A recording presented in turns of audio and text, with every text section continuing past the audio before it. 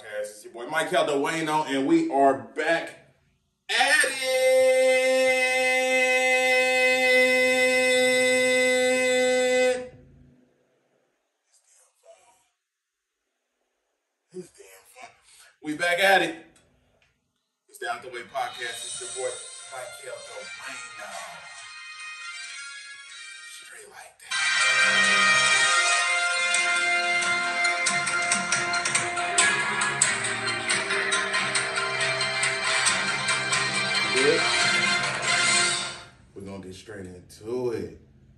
So, um, good girl. So basically, um, what is it today? It is August 14th.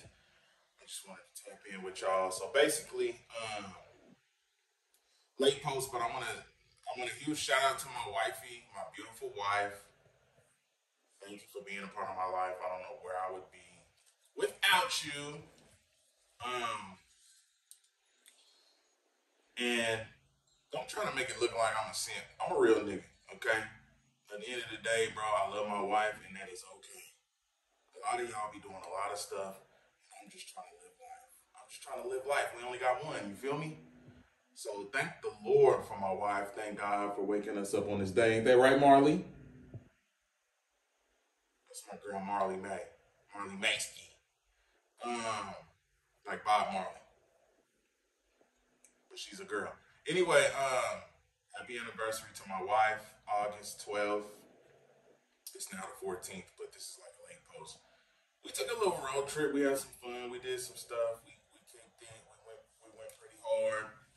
Well, I ain't gonna cap. We ain't gonna soup. We ain't gonna stupid dumb hard. But if you're now tuned in, this is the Out the Way podcast. It's your boy Michael Dueno. Make sure you follow me on Facebook, Dueno. Snap a. Make sure you follow me on Instagram, Michael Dueno. Let's get into it. What do we got? I have no idea what we're talking about. So I'm gonna go to my You know what? Um, I got an iPhone 7 here. I'm recording on an iPhone 12 Pro Max. So that the 12 Pro Max is doing to me justice. But this 7 Plus right here, this listen, this one is is confusing. It's doing a lot. It's being extra right now. So basically what I'm gonna be doing here, I'm not gonna keep y'all for too long, bro. I'm just really tapping in and doing some reactions. I'm just gonna do some reactions. Real quick though, I'll tell y'all about where we went. We went to Minneapolis. Um, never been to Minneapolis before. Uh, it was about a six and a half hour drive. Uh, it was pretty smooth though. You know what I mean? Like I'm used to, as far as road trips, I'm used to going to like Colorado. You know what I mean? I, I, Colorado's like my second home. You feel me? I smoked weed for a lot of years. So, you know, it was legal up there. So I would go. That was the closest place, the best place. You know, Burner. If you know me, you know I really mess with Burner. So I went up there a lot. But Minnesota was dope. As far as like the trip from where I'm at to Minnesota, it was smooth. Um, what I will say is like being me from Top City, everybody in Top City drives like slow. You know what I mean? And I'm not trying to make it sound like I'm a speed racer or anything like that. But when I got up to Minneapolis, bro, like everybody was driving like it was. It was like I was in Topeka, bro. Everybody was like just chilling. Everybody was in like. Not that everybody needs to be speeding, but it was like, damn, I need to like y'all, y'all get out of my way. You know what I mean? It was real. It was real smooth up there. Went up there, seen the uh, George Floyd Memorial. That was beautiful, bro. Like that touched my spirit. I went. I actually went inside the gas station because you know he got he got killed outside. It wasn't even a gas station. He got killed.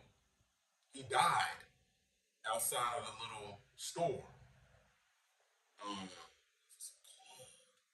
it's on 30, 35th in Chicago or 38th in Chicago.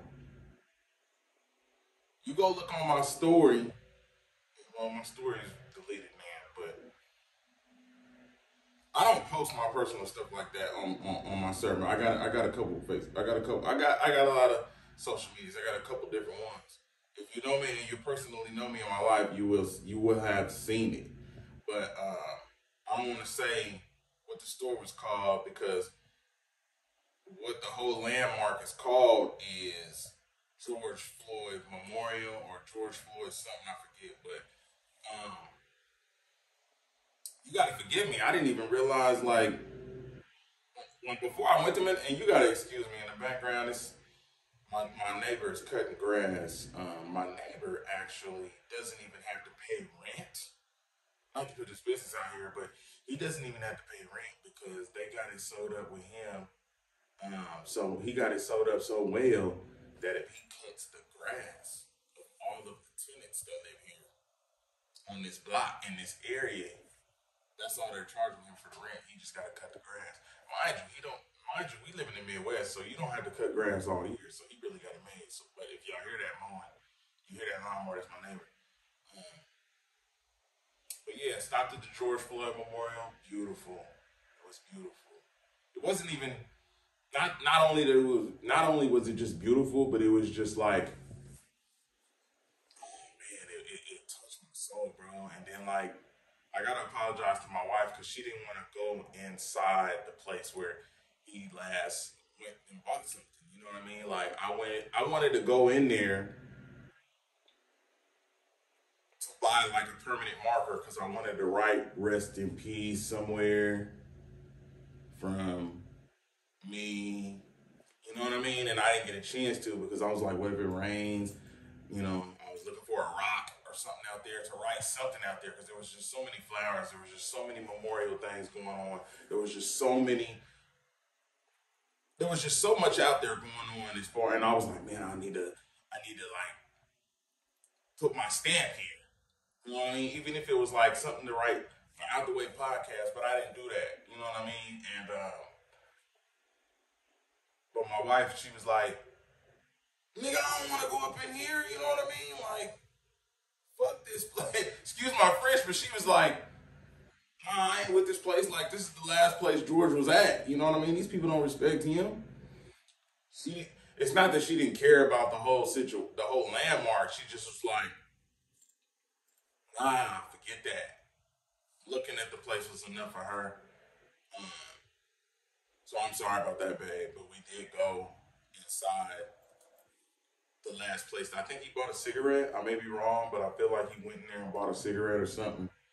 And uh, so I went up in there, and I was just like, nah, I wanna, I wanna, I wanna, I wanna go in the place where he took his last steps to get something before he came out here, and that cop killed him. You know what I mean? So we went by there, went by a few museums, you know, checked out some art. I never been to Minneapolis. Was cool. It was smooth. You know what I mean? I ain't gonna hold y'all too long. Mm. That's not what I was trying to play. Let me get into what I was trying to play. I got some stuff. I got some stuff. I got some. Soulja Boy. Soulja Boy has been in the news lately. Um, Soulja Boy has been in the news lately for what, nigga been broke. That's been the topic lately. He's been he's ran out of money. Um, I guess he was like renting a place or whatever, but that's all he was doing. He wasn't even paying the bills. There was some other stuff going on. But I will say though, like we all can't cap, bro. Like Soulja Boy has like for real. Soulja Boy was one of them dudes who was the first rapper. He was the first rapper to go viral on the internet. Period. We can't deny that. Like I remember it was him first, and then I feel like Wiz Khalifa was second. This says that uh Jesus, this is his words are small as hell. When I came in the game, they said I killed hip hop. But really, I birthed a new wave of hip hop with internet slash streaming. I was ahead of my time. Now everyone vlogs their career like me. That's true. That ain't that ain't a lie. Now everyone uploads their music to the internet. Now everyone goes live for their fans. I started it. Thank me or not, flowers slash credit or not. He's not lying, bro. We got to get that to him. The only thing I don't like about Soulja Boy is Soulja got to grow up. Soulja got to grow up. I'm not saying he hasn't grown up, but like as far as how he maneuvers himself on the internet, like grow up, bro. The fact that you started all that is one thing, but like get in your bag a different way now. You started that. Let's not continue.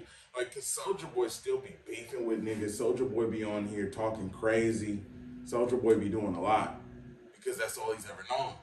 That viral, that viral sensation type of stuff. You got a whole, you got a kid now, bro. It's time to be a little bit different. I want to uh, shout out to Magoo here because uh, Magoo, if you are my age, you know who Magoo is. Um, formerly part of rap group Timbaland and Magoo, has reportedly passed away. Shout out Magoo, man. Magoo was on the list for being one of the worst rappers of all time. But that ain't about this and this ain't about that. I want to say rest in peace to Magoo because Magoo was on some slaps back in the day. Shout out Timbaland and Aaliyah and Missy Elliott and all the work that y'all did because I was, I'm, listen, I'm a hip hop historian. Don't come for me, bro. Don't come, listen. Don't come for me, bro. I'm a hip hop historian Rest in peace, Magoo. But um, that's sad to hear. That's sad to hear. That is truly sad to hear. I don't know what happened. I'm gonna have to do some further research to see what's going on. Rest in peace. Though. Let's have a moment of silence for him.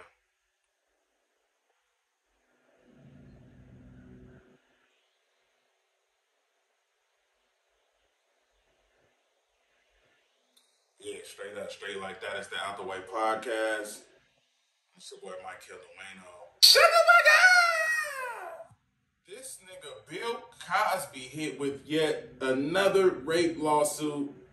Singer Morgan Card claims he drugged and raped her on multiple occasions between 1987 and 1990.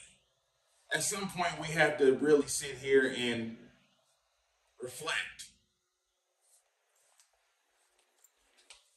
Like, damn, Bill. That's it. I ain't got nothing else to say about it. That's it. Like, damn, Bill. Damn. Like, Bill already went and did time. Rob, Rob is still in jail for what he's done. But damn, Bill, you done went and did time already. You're out. Cosby is out, y'all, and there is still women coming for him. I don't know. Drop a comment. Let me know what y'all think. It's the Out the Way podcast. It's your boy Duano Trouble Some people call me Michael Duano.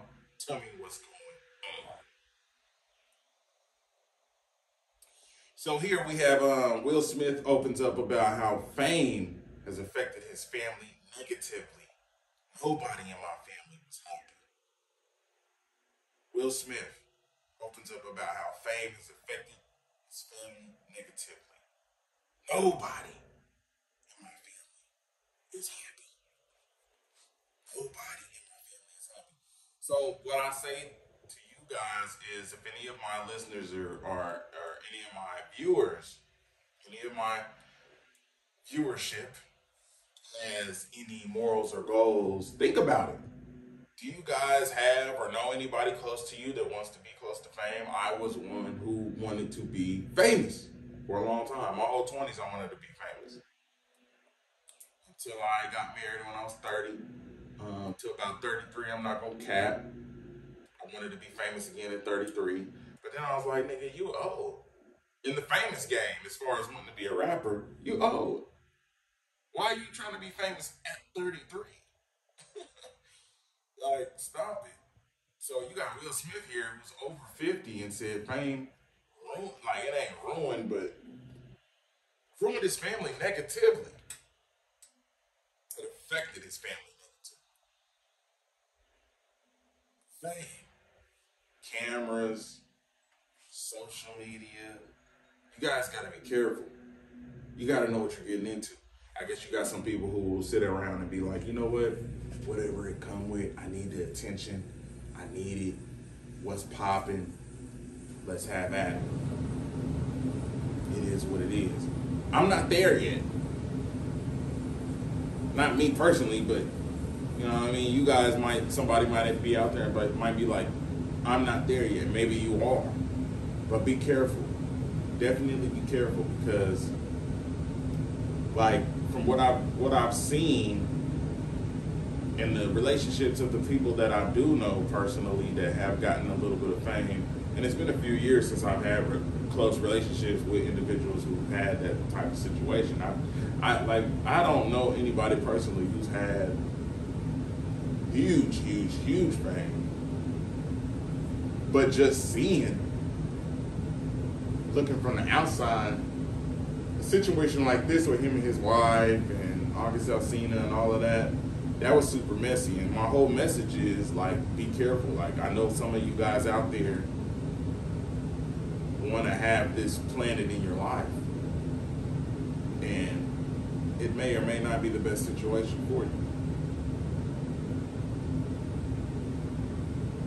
I just want to know do I look inappropriate for work? Ooh, no, I ain't gonna play that. I just want to know do I look inappropriate for Damn, it's empty down.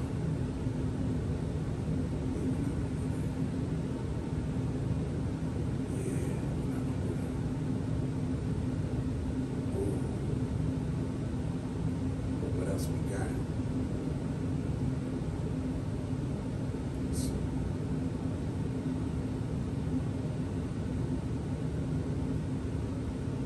Let me go back to my other page because what I be doing, bro, is I be DMing myself a lot of the stuff that's going on that I want to that I want to discuss, and so it hit different.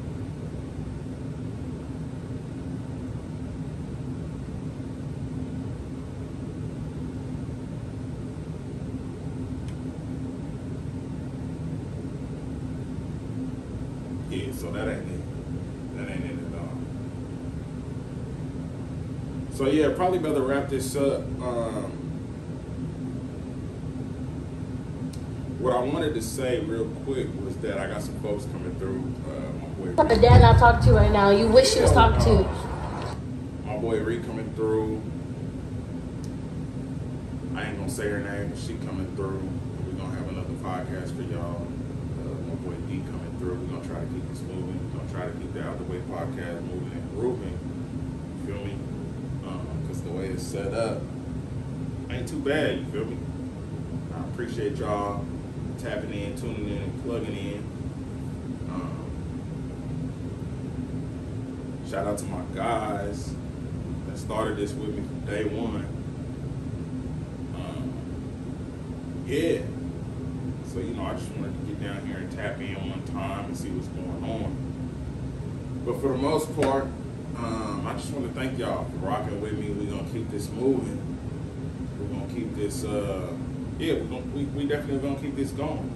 I thought about doing some reviews to the shy, but I don't know how many of my viewers and my, and, and my listeners listen to watch that show. You know what I mean? Let me know. Drop a comment if y'all checked out the first couple episodes, and let's get involved. Know what I mean? This is going on Spotify here. This will be on Spotify by the night. It is Monday, August 14th. Uh, I just want to let y'all know, you know what I mean? I love y'all. Uh, I hope y'all love the Lord.